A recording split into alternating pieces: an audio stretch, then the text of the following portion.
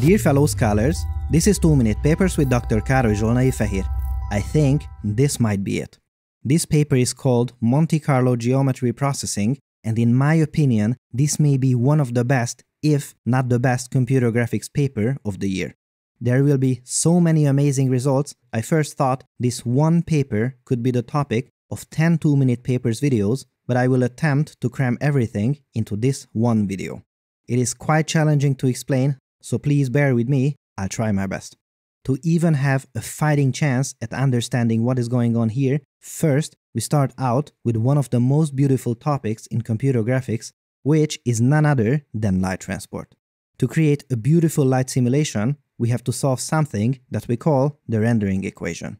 For practical cases, it is currently impossible to solve it like we usually solve any other equation.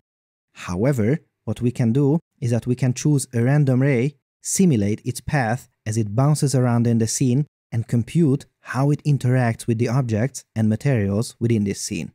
As we do it with more and more rays, we get more information about what we see in the scene. That's good, but look, it is noisy. As we add even more rays, this noise slowly evens out, and in the end, we get a perfectly clean image. This takes place with the help of a technique that we call Monte Carlo integration, which involves randomness.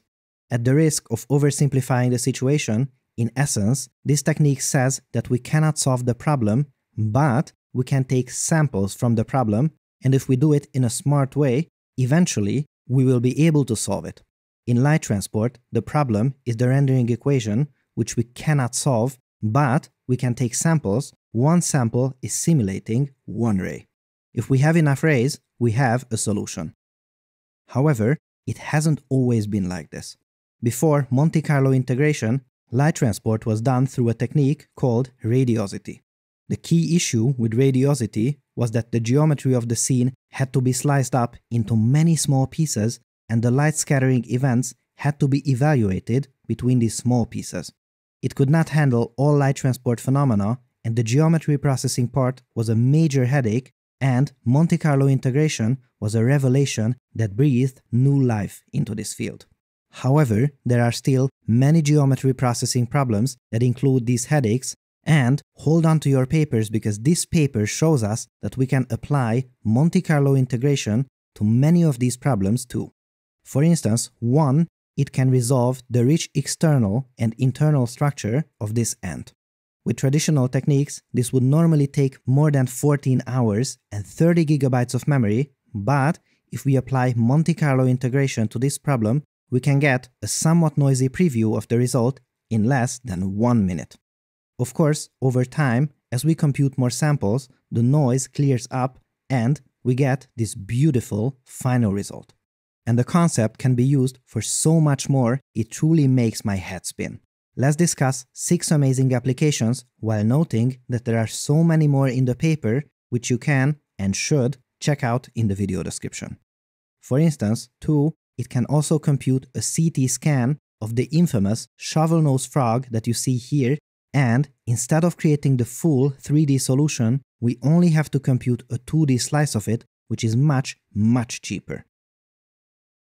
3. It can also edit these curves and note that the key part is that we can do that without the major headache of creating an intermediate triangle mesh geometry for it. 4. It also supports denoising techniques so we don't have to compute too many samples to get a clear image or piece of geometry. 5. Performing Helmholtz-Hodge decomposition with this method is also possible. This is a technique that is used widely in many domains for instance, it is responsible to ensure the stability of many fluid simulation programs, and this technique can also produce these decompositions. And interestingly, here it is used to represent 3D objects without the usual triangle meshes that we use in computer graphics. 6. It supports multiple importance sampling as well. This means that if we have multiple sampling strategies, multiple ways to solve a problem, that have different advantages and disadvantages, it combines them in a way that we get the best of all of them. We had a mega episode on multiple importance sampling. It has lots of amazing uses in light transport simulations, so if you would like to hear more, make sure to check that out in the video description. But wait, these are all difficult problems. One surely needs a PhD and years of experience in computer graphics to implement this, right? When seeing a work like this, we often ask, okay, it does something great, but how complex is it? How many days do I have to work to re-implement it? Please take a guess and let me know what the guess was in the comment section. And now, what you see here is none other than the source code for the core of the method and what's even more, a bunch of implementations of it already exist. And if you see that a paper has been re-implemented around day 1, you know it's good. So, no wonder this paper has been accepted to SIGGRAPH, perhaps the most prestigious computer graphics conference. It is immensely difficult to get a paper accepted there, and I would say this one more than earned it. Huge congratulations to the first author of the paper, Rohan Sawhney, he is currently a PhD student, and note that this was his second published paper. Unreal. Such a great leap for the field in just one paper. Also, congratulations to Professor Keenan Crane, who advised this project and many other wonderful works in the last few years. I cannot wait to see what they will be up to next, and I hope that now you are just as excited. This episode has been supported by Linode. Linode is the world's largest independent cloud computing provider. Linode gives you full backend access to your server, which is your step up to powerful, fast, fully configurable cloud computing. Linode also has one-click apps that streamline your ability to deploy websites, personal VPNs, game servers, and more.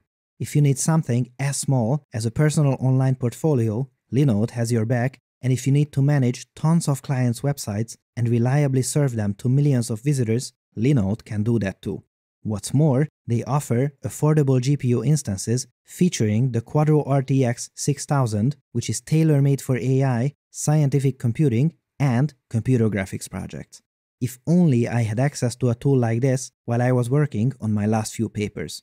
To receive $20 in credit on your new Linode account, visit linode.com slash papers or click the link in the video description and give it a try today. Our thanks to Linode for supporting the series and helping us make better videos for you. Thanks for watching and for your generous support, and I'll see you next time.